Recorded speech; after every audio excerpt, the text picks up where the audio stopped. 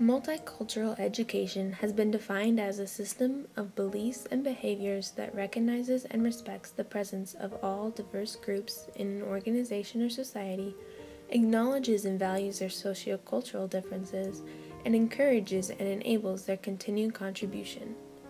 Caleb Rosado made this point by saying that we should value what others have to offer and not just belittle it because it is different from the majority.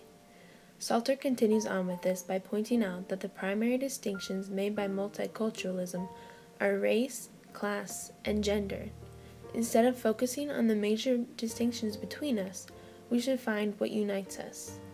As students in a classroom, we all come from different backgrounds, but we all have one thing in common we are Americans, and this is what unites us.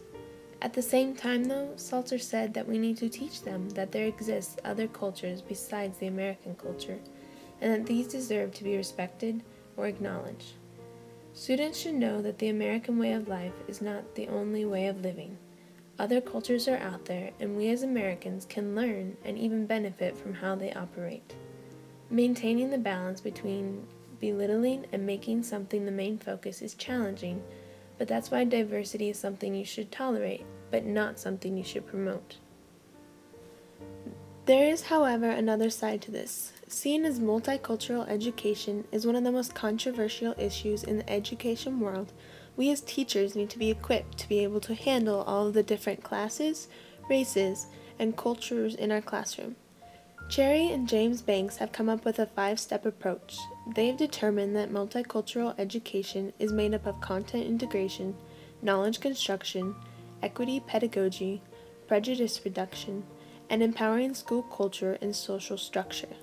Content integration is the dimension that most educators consider to be the entirety of multicultural education.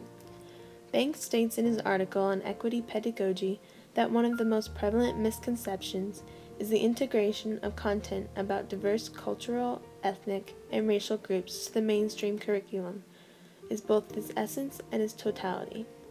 In order to correct this misconception, Banks proposed his five dimensional understanding of multicultural education.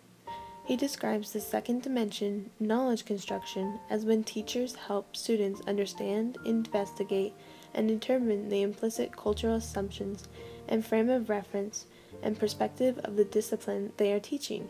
Essentially, this includes training students to be aware of cultural biases they may encounter. The third dimension that Banks proposes for multicultural education is equity pedagogy.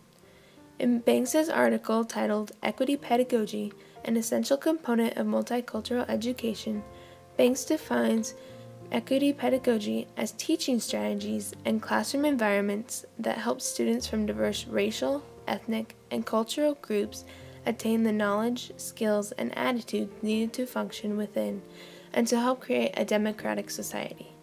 This means that teachers should facilitate learning that actively involves all students in learning to help them become effective citizens. The fourth dimension of multicultural education, according to Banks, is prejudice reduction. This means that teachers should work to reduce prejudice in the classroom and should use methods to help kids develop more positive racial attitudes.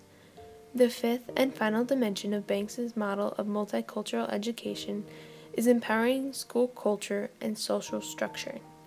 Banks defines this dimension as looking at the total school structure to see how to make it more equitable.